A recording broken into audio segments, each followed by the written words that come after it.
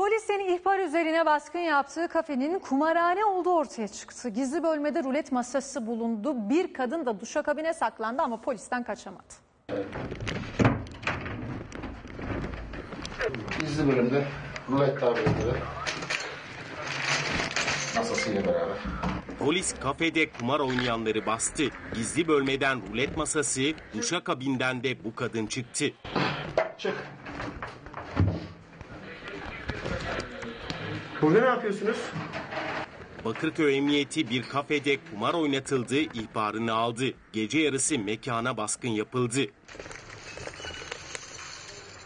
Kumarhaneye çevrilen mekanda sosyal mesafe yoktu. Kumar masasında yakalananların çoğunda da maske bulunmuyordu.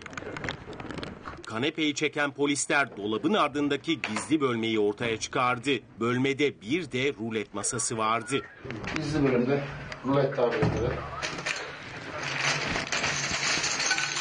masasıyla beraber.